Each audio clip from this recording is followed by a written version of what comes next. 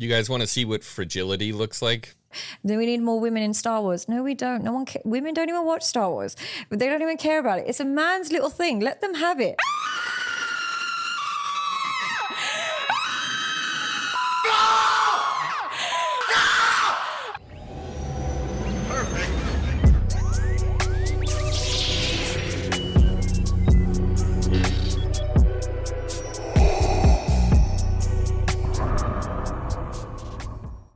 That's right, everyone. In a shocking move that stunned the internet, female psychologist on Star Wars Theory Show says something that was completely not controversial at all. But dear lord, did they take to the internet after this one?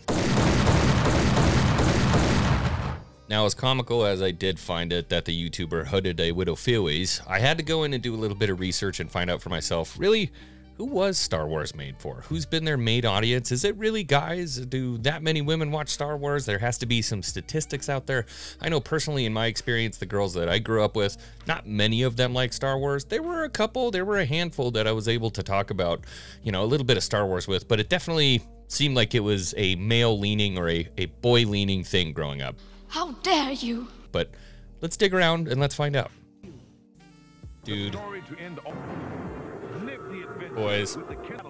Boy. Heroes and villains straight from the movies. Now you're playing Power of the Force. Figures in big detail of the Rebel Star Wars. Power of the Force. Real movie sounds. Flash. And vehicles straight from the movie. Wars like the Power of the Force. From Kenner. Straight from the new Star Wars like the Power of the Force. Right here, Jabba. From Kenner, it's like being in the middle of an Imperial dog in your hands. Watch as Endor shines. And yourself in the movie. Listen, may the force be with you. Use your instincts. You haven't experienced Star Wars, experienced CommTech. The- Oh, I always wanted one of those and I never got one. Queen Amidala, let's get her ready. We got one! We got one! And we're back. In case you're wondering, yes, I did actually just sit down and watch 30 minutes of uh, Star Wars toy commercials, and I got to tell you, it was it was actually it was glorious. So can't you see? Star Wars was advertised for women. This wasn't a boys thing. It's always been for everyone. It was never targeted to a specific gender. Psych! In all seriousness, Star Wars has always been a boys brand. Up until recently, it's always been a boys brand. I understand that times are changing, but what was so great about Star Wars is that it was stories about knights and combat and honor and battle and loss and love. The Arthurian legend, which boys latch onto from a very, very young age, they always want to have those kinds of heroes. And it didn't mean that girls couldn't be a part of it. There were a bunch of girls that obviously latched onto Star Wars. They still thrive and live in the Star Wars fan base today.